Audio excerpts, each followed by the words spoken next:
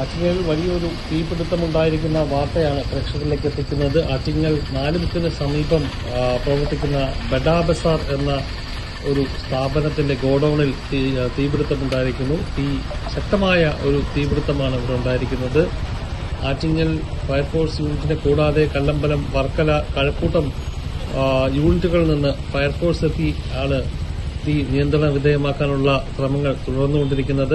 ഏഴര മണിയോടുകൂടിയാണ് തീപിടുത്തം ആദ്യം റിപ്പോർട്ട് ചെയ്തത്. തുടർന്ന് ആദ്യം ആറ്റിങ്ങൽ ഫയർഫോഴ്സിൽ നിന്നുള്ള അഗ്നിശമന സേനാംഗങ്ങൾ സ്ഥലത്തെത്തി തീ നിയന്ത്രണ വിധേയമാക്കാൻ ശ്രമിച്ചെങ്കിലും ശക്തമായ തീപിടുത്തത്തെ തുടർന്ന് അടുത്ത നിലയങ്ങളിലുള്ള ഫയർ സ്റ്റേഷനുകൾ വിവരമറിയിച്ച് അവിടെ നിന്നും വാഹനങ്ങളെത്തി ഫയർ ഫയർ എഞ്ചിനുകളെത്തി തീ നിയന്ത്രണ വിധേയമാക്കാനുള്ള ശ്രമങ്ങൾ ഇവിടെ ഇപ്പോഴും തുടർന്നു വരികയാണ്. സമീപ പ്രദേശങ്ങളായ കല്ലമ്പലം വർക്കല കഴക്കൂട്ടം മേഖലകളിൽ നിന്ന് ഇപ്പോൾ അഗ്നിശമന സേനാംഗങ്ങൾ ഇവിടെ എത്തി.